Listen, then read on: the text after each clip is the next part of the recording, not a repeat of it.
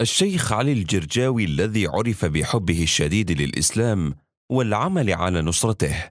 قد قرأ في إحدى الصحف عام 1906 خبرا غريبا مفاده أن رئيس وزراء اليابان الكونت كاتسورا أرسل خطابات رسمية إلى دول العالم ليرسل إليهم العلماء والفلاسفة وكل أصحاب الديانات لكي يجتمعوا في مدينة طوكيو خلال مؤتمر عالمي ضخم. يتحدث فيه أهل كل دين عن قواعد دينهم وفلسفته.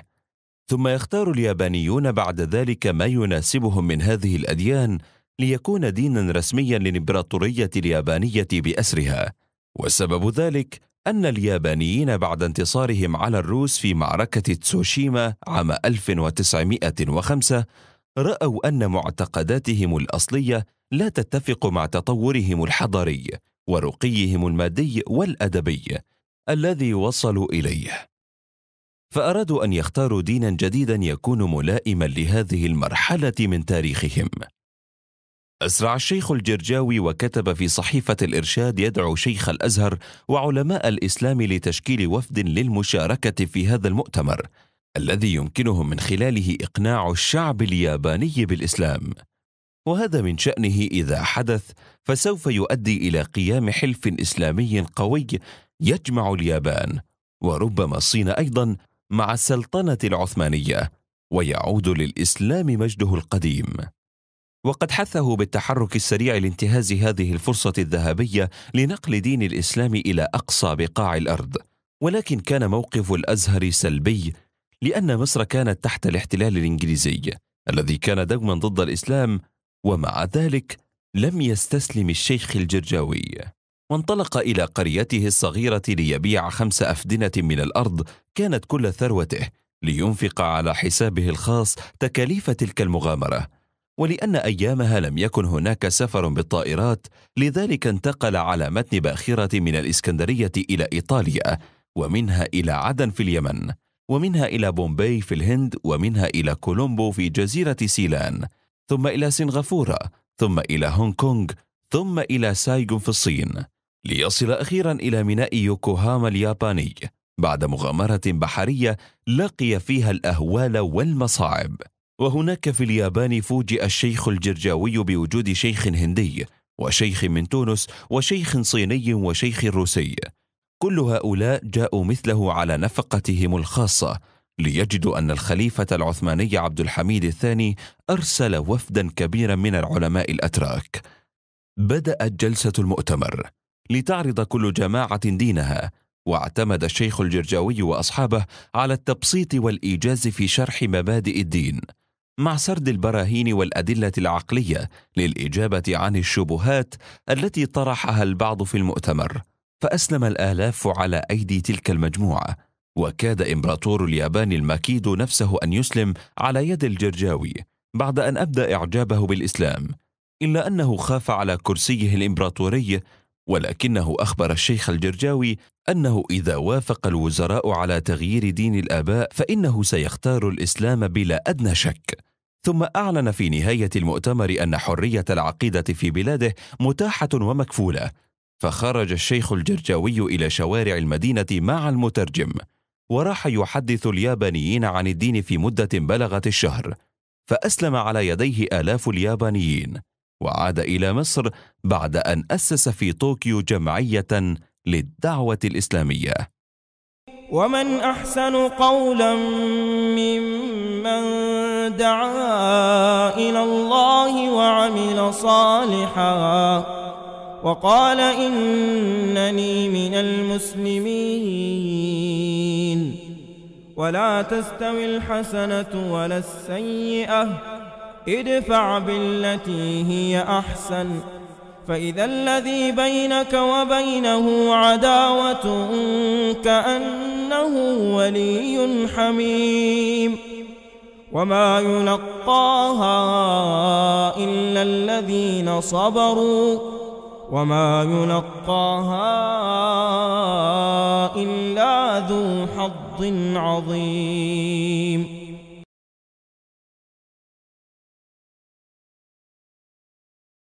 أرملة فقيرة صالحة توفي زوجها بعد أن ترك لها ابنة واحدة عمرها عشر سنوات. فقامت الأم ببيع الخضروات والفاكهة بالسوق للإنفاق على ابنتها وتعليمها. حتى تخرجت ابنتها من كلية الطب ورزقها الله بزوج غني افتتح لها عيادة بأحد الأحياء الراقية والقريبة من سكن الأم. ورغم معرفة الابنة كم عانت أمها وكم تحملت من متاعب لتحقق لها حلمها بأن تكون طبيبة إلا أنها عاتبتها عتابا شديدا.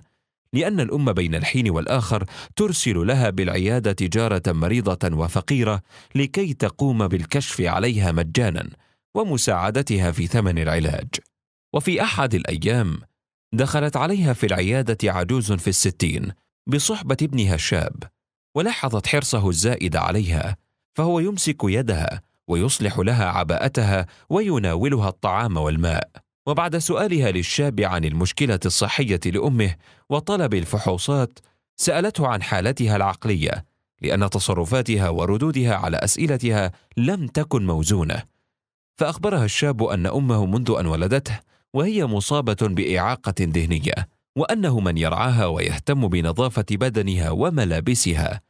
وعندما سألته لم لا تحضر لها خادمة وخاصة أن من هيئته يبدو ميسور الحال. أخبرها بأن أمه مسكينة لا تشتكي ويخاف أن تؤذيها الخادمة وهو يقوم بخدمتها والسهر على علاجها بانتظام خاصة وأنها مريضة بالسكر.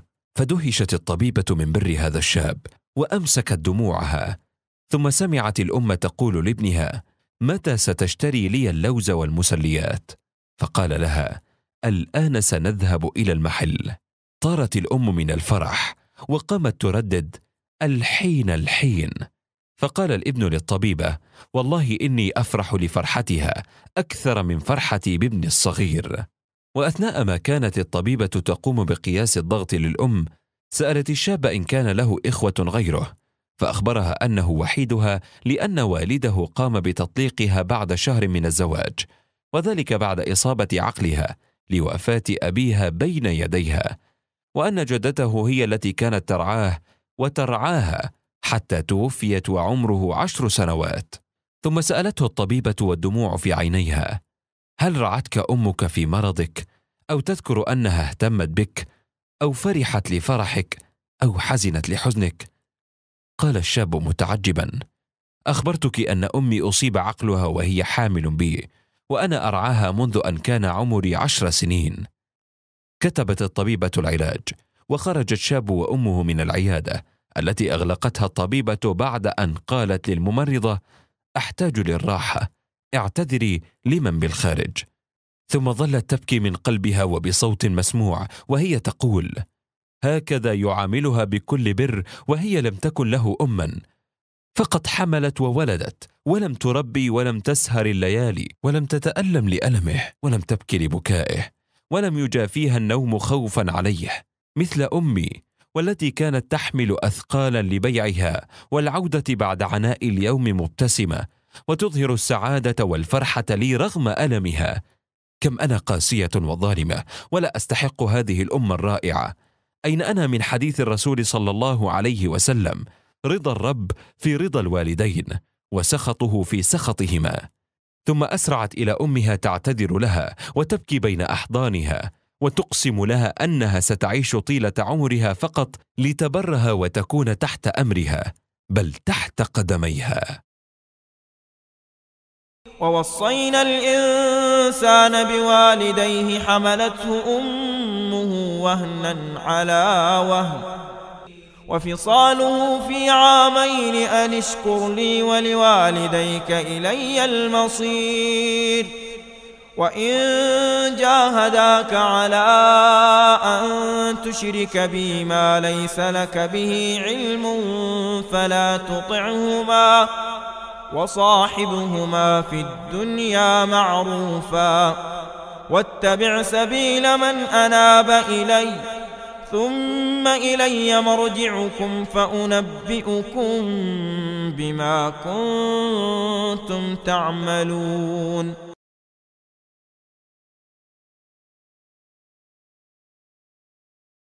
في يوم من أيام رمضان جلست أسرة فقيرة على الطعام الجاف القاسي الذي استقر أمامهم ينتظرون أذان المغرب. وقد كان رب الأسرة لا يملك من أمر الدنيا شيئا. وقد جلس شارد الفكر يستعيد في قلبه الحديث الذي دار بينه وبين صاحب البيت ذلك الطاغية الجبار الذي تهدده وتوعده. إن لم يات له بإيجار المسكن المتأخر عليه اليوم ليطردنه من البيت. فماذا يفعل هذا المسكين؟ وهو لا يجد لقمة العيش ولا يستطيع أن ينتصر لنفسه. أفاق الرجل من خيالاته على صوت مزعج خارج المنزل وهو صوت الظالم صاحب المنزل الذي تجرأ وفتح الباب بعنف من دون استئذان. ثم دخل ووقف كالمارد أمام الأب المسكين الذي تحيط به أسرته البائسة. ومن غير كلام ولا مقدمات تناول الطاغيه ذلك المسكين وأخذ يسبه ويشتمه ويركله بقدمه. وارتفعت أصوات أسرة المسكين تبكي وتنوح وتقول حسبنا الله ونعم الوكيل. واتقوا يوما ترجعون فيه إلى الله ثم توفى كل نفس ما كسبت وهم لا يظلمون. وبعد ألم شديد ألحقه الطاغية بالمسكين خرج متكبرا بعد أن أخذ كل ما تملكه الأسرة من أثاث قديم وترك صاحب الأسرة الفقيرة كالميت. وانطلق صوت المؤذن لصلاة المغرب وهو يقول الله أكبر! في أول يوم من رمضان وعند وقت إجابة الدعاء فرفع المظلوم يديه إلى السماء ثم قال اللهم انتقم منه اللهم انتقم منه. ثم استغفر الله وأكثر من قول لا حول ولا قوة إلا بالله. وما هي إلا ثلاثة أيام وإذ بذلك الظالم يشكو من ألم في ساقه فينقل إلى المشفى وبعد الأشعة والتحاليل قرر الأطباء أنه مصاب بمرض السرطان وأنه لابد أن تبتر قدمه وإلا انتشر السرطان في رجله. وبعد عشرة أيام خرج من المستشفى بقدم واحدة لا يستطيع المشي عليها وكانت المقطوعة هي القدم التي ركلت وضربت المظلوم.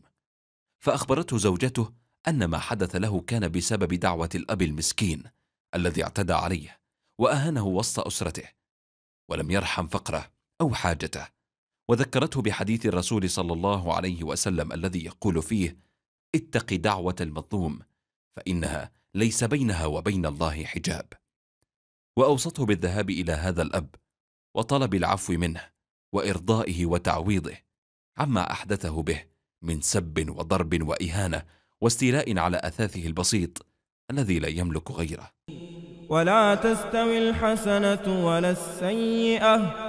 ادفع بالتي هي أحسن فإذا الذي بينك وبينه عداوة كأنه ولي حميم. وما يلقاها إلا الذين صبروا وما يلقاها إلا ذو حظ عظيم. اقتنع صاحب البيت بكلام زوجته وما كان منه إلا أن أحضر لأسرة المسكين أثاثا جديدا وتنازل له عن سكنه بلا مقابل ثم ذهب إليه وقبل يده وبكى أمامه ليغفر له ويسامحه. ماذا لو؟ يقول دكتور مظفر قاسم دخلنا إلى أحد المطاعم العربية في لندن قبيل الغروب لتناول العشاء وبعدما جاء النادل لأخذ الطلبات استأذنت من الضيوف لدقائق. ثم عدت. فسألني أحدهم أين كنت؟ فقلت له كنت أصلي.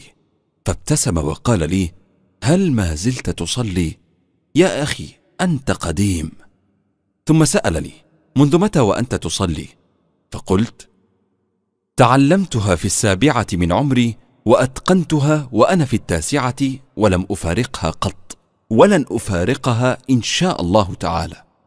فقال لي وماذا لو أنك بعد الوفاة اكتشفت بأنه لا توجد جنة ولا توجد نار ولا عقاب ولا ثواب فماذا ستفعل في صلاتك وصيامك وحجك؟ فقلت له لن أفعل أي شيء لأنني عبدت الله لأنه أهل للعبادة. ولكن هذا الكون العظيم بجماله وإبداعه وروعته مستحيل أن يكون بدون صانع مبدع عظيم. وهذا يمنعني أن أكون ملحدا. شكرني الضيف لأنني تحملته برحابة صدر ثم سألته ماذا لو عكسنا فرضيتك؟